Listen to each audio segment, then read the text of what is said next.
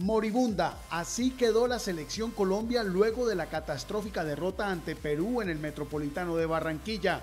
Al minuto 84 el solitario gol inca nació de esta mala entrega de Chará. Con la selección Colombia jugada se vino el contragolpe peruano y Diego Flores de zurda la metió al primer palo de David Ospina. El arquero creyó que el remate sería cruzado y regaló el paro por donde entró el balón. En el inicio del partido los de Rueda salieron con todo a buscar la victoria y al minuto 11 James tuvo esta llegada clara que pasó cerca del palo Inca.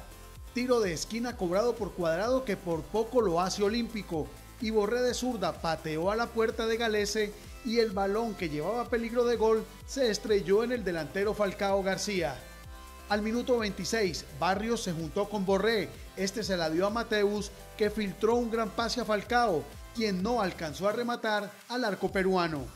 Iniciando el segundo tiempo, Jerry Mina, vestido de delantero, sacó este remate que pegó en un defensa peruano y se fue al tiro de esquina.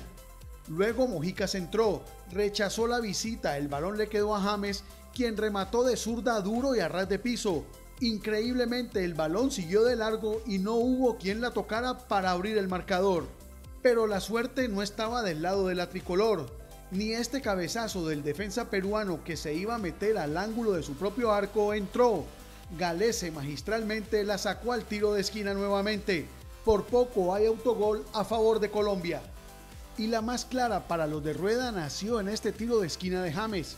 El balón le quedó a Borja y de primera le pegó al arco, Desafortunadamente, el arquero galese con el pie despejó el peligro para su valla.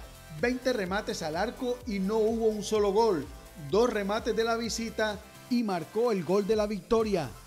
Así las cosas, a Colombia le toca ganar las tres fechas restantes ante Argentina, Bolivia y Venezuela y esperar un milagro para al menos llegar a la zona de repechaje. Con este ya son seis partidos en los que la selección Colombia no ha podido marcar un solo gol.